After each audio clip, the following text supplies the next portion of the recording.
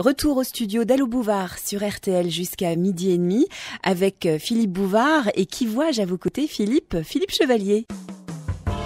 Bonjour mon cher Philippe. Bonjour mon cher Philippe. Tiens, il y a de l'écho dans le studio.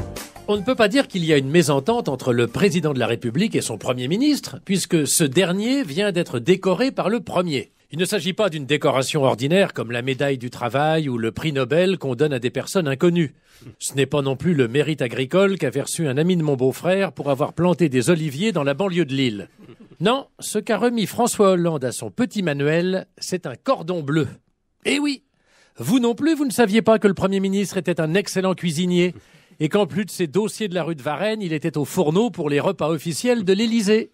Ses talents de maître queue se devaient d'être récompensés officiellement par un président qui, dans cette matière pourtant, n'a de leçons à recevoir de personne. La cérémonie fut courte mais belle. François félicita Manuel pour sa paella, avec une pointe de jalousie sur sa manière de jouer des castagnettes. On voyait poindre chez le président le vieux ressentiment du Hollandais occupé par l'Espagnol cinq siècles auparavant. Manuel s'est senti flatté quand François l'a comparé au vieux tigre vendéen Clémenceau, mais il déchanta très vite quand il comprit que pour le président, leur point commun résidait dans la façon de préparer l'andouillette.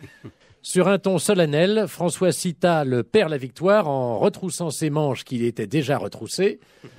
L'andouillette, c'est comme la politique, ça doit sentir la merde, mais pas trop.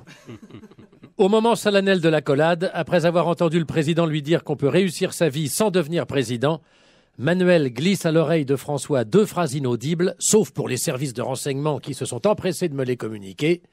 Tu sais, mon gars, on peut aussi être président et rater sa vie. Et avec les impôts qu'on perçoit, en plus du cordon, t'aurais pu me payer la toque. Ah, on vit vraiment une belle époque. Hein. Merci Philippe Chevalier. À la semaine prochaine. À la semaine prochaine. Jusqu'à 12h30, Allô Bouvard sur RTL.